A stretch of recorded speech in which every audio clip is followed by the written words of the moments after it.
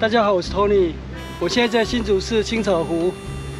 青草湖，我十三年多没来了，今天就来就地重游，走环湖步道一圈。现在湖畔步道整理的不错。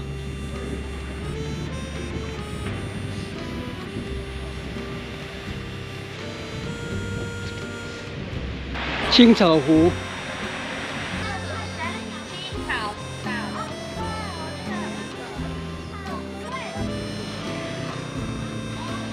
我先上来瞭望台看风景。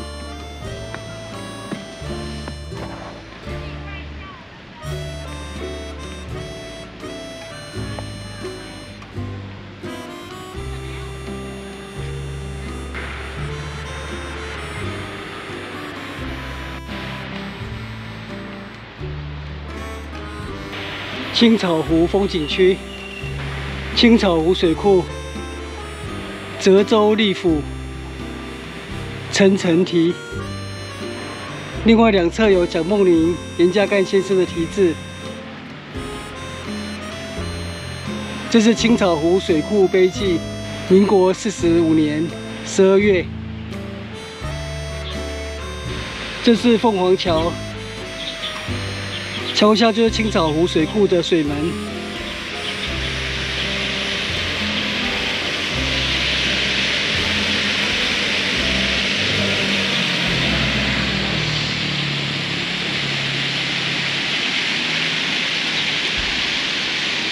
对岸是鱼飞岛、映月桥。青草湖水库完工之后，民国五十二年有一部台语电影《难忘的凤凰桥》，就在这里取景，让这里声名大噪。不过我完全没有任何印象，因为那时候我只有两岁而已。从这里进入环湖步道。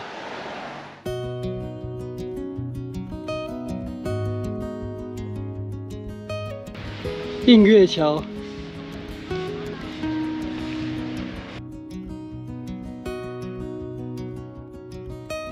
我抵达鱼飞岛了。不过今天我是自己飞，单飞，王菲没有来。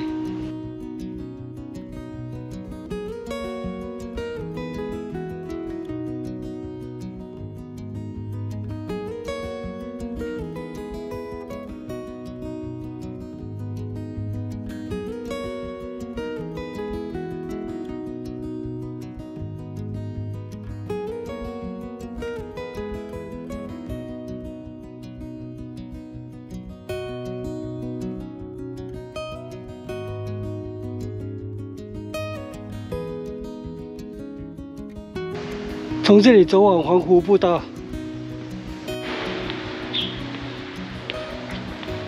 现在环湖步道公共设施更完善了。环湖步道沿途都有观景平台。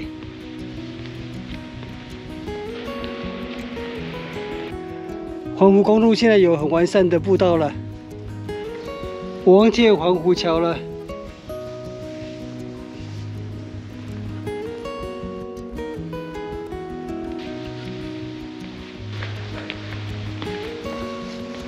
前面这座桥是环湖桥，青草湖环湖步道，环绕一圈超过一个小时而已，算是蛮轻松的休闲健行路线。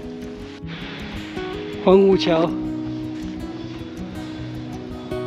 左前方那里就是灵隐寺，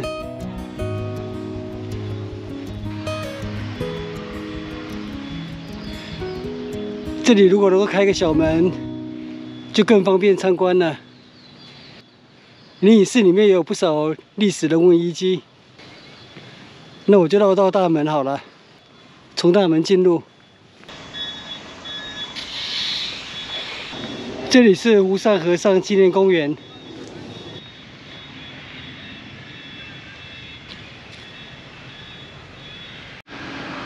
无上和尚纪念公园似乎没有步道可以直接通往灵隐寺，还是要从马路那边走过去。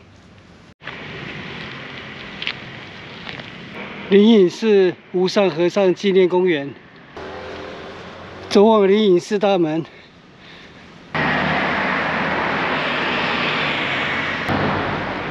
青草湖灵隐寺，我为新竹神社遗迹而来。灵隐寺的石灯笼至少超过二十座。这是新竹州教育会昭和七年十月三十日。对面那一座也是新竹州教育会奉献。这是新竹州农会，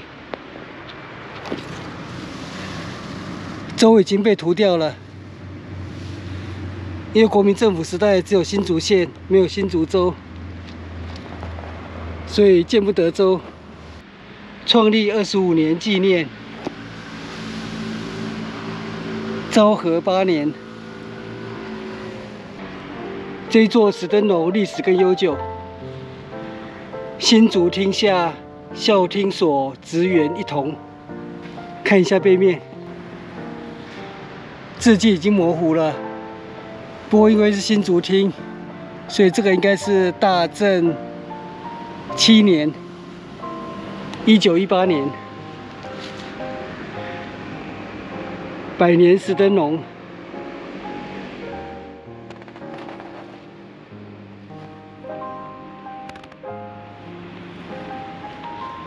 这边有一座凉亭，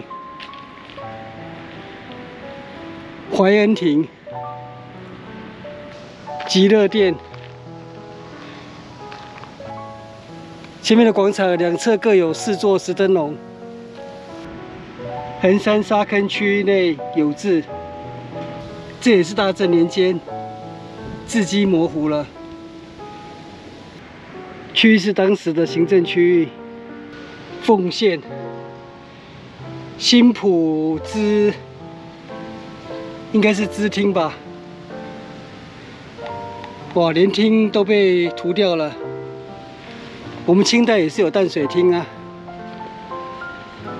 这也是新浦之厅，应该都是大正年间的石灯笼。大正之基还看得出来，前车之鉴，所以我们要好好守护台湾，否则将来所有的桥梁、石碑。上面的民国刻字都会被涂掉。极乐殿，来看看这四座石灯笼，都是新浦之厅，这也是横山沙坑区奉献的。所以这八座石灯笼，两座是来自横山沙坑，六座是来自新浦之厅。日本时代在台湾的神社被毁掉之后，新竹神社的石灯笼算是保存的比较完整，被移到灵隐寺这边来，而且是一对一对的并立，应该是当时很有计划的抢救这一批石灯笼，移至到灵隐寺这边来。这边又有一对石灯笼，是新竹高等女学校校友会同窗会奉献，这是。开校不知道几周年纪念，昭和九年吧。这边刻的比较清楚，所以可以两边对照。开校十周年纪念，那这边就可以参考对面那边。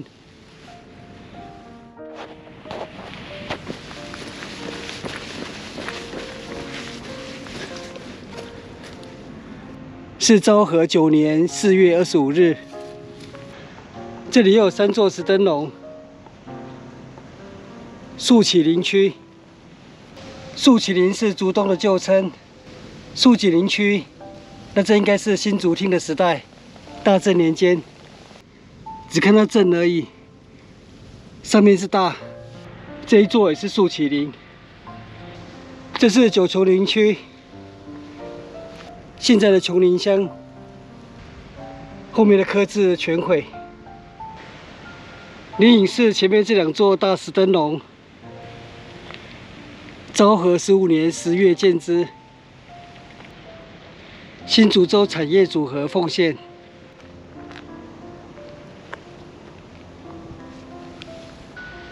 纪元两千六百年纪念。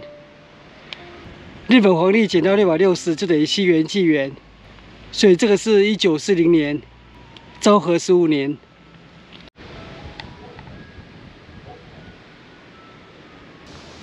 这是神石，据说上面这个是鲸鱼或是动物的化石遗迹，我也不知道是真是假。这边上面那边有同治年间的陈廷贵古墓，这是灵寿塔，建筑都非常的典雅。金炉这里有一棵老樟树。灵隐寺创建于大正十三年（一九二四年），出名感化院，又称孔明庙，后来成为佛寺。灵隐寺旁边，这也是新竹神社的遗迹，守水社，是进入神社之前。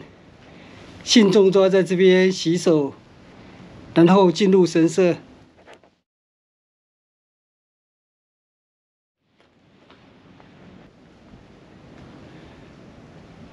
日本时代的新竹神社虽然战后废弃，不过还保留一些建筑。后来成为偷渡犯的收容中心、静炉，现在已经登录为市定古迹，正在展开修复。不过比较好奇的是。将来修复完成之后，不知道灵隐寺的这些石灯笼会不会回娘家，回到新竹神社的场域。不过如果是石灯笼，我未必想要搬家，因为毕竟来到灵隐寺已经七十多年了，日久他乡即故乡。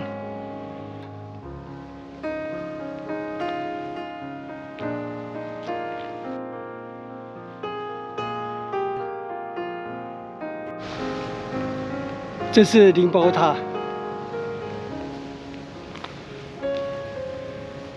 前面有四座石灯笼，郑肇基、林清文，这也是模糊不清了。这边的两座石灯楼是林清文奉献，然后更前面的两座是郑肇基奉献。绕回到极乐殿了，我要离开灵隐寺了。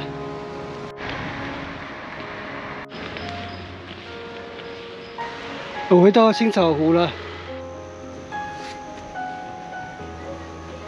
青草湖环湖一圈，再加上游览灵隐寺，这样来回差不多两个小时而已，非常轻松的散步路线，又可以看到非常多的古迹，啊，推荐给大家。那我今天的青草湖之旅就到这边结束，谢谢收看，我们下次见，拜拜。